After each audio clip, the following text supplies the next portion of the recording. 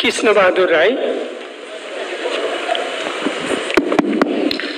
सम्माननीय सभामुख महोदय सम्बन्धित मन्त्री र काठमाडौँ महानगरपालिकाको मेयरले फोहोर व्यवस्थापन सम्बन्धी लाचारी व्यक्त गरिरहेकै बेलामा धरानका मेयर आएर मैले काठमाडौँ आएपछि फोहोर मैलाको समाधान हुने भयो भनेर उहाँले घोषणा गर्नुभएको छ।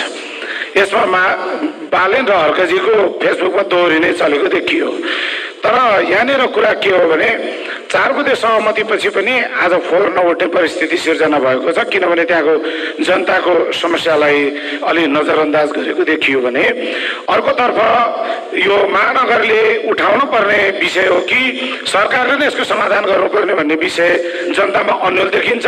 तर यहाँनिर विचारणीय कुरा के छ भने न महानगरले कुनै योजना प्रस्तुत गरेको देखिन्छ न सरकारले गरेको देखिन्छ।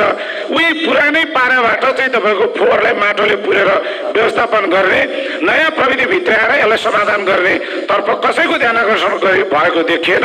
बरु गठबन्धनका नेताहरू चाहिँ भोलिका निर्वाचन